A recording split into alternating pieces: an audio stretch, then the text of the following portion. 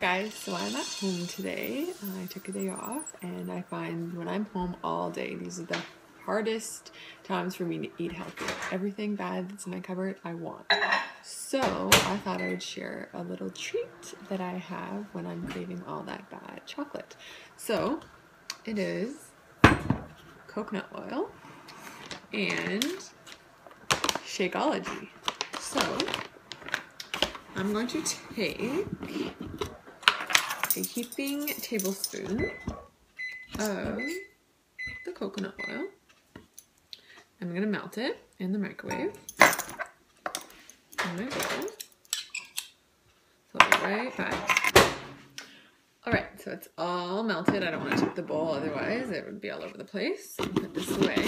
So one heaping tablespoon of melted coconut oil. Next, is a scoop of chocolate Shakeology.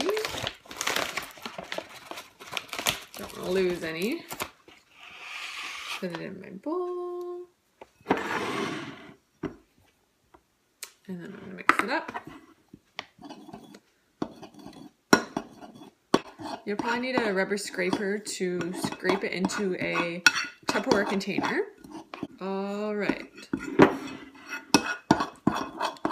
So there my chocolate Shakeology and coconut oil all mixed up. I'm gonna get a rubber spatula, ginormous one, I guess, and I'm gonna pour it into a Tupperware container, and then I'm gonna freeze for five to 10 minutes in the freezer.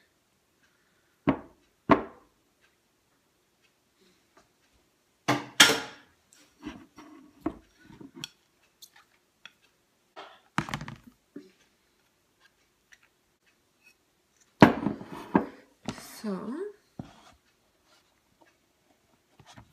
just gonna smooth it out a little bit to make it a little thinner. And so there it is all in my container. Now I'm gonna put it in the freezer and I'll come back and I'll show you the results.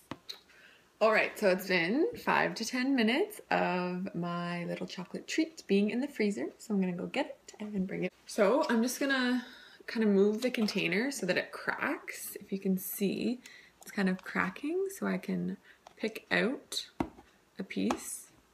I'm not gonna have it all, but here is my chocolate treat and hopefully it helps my cravings today.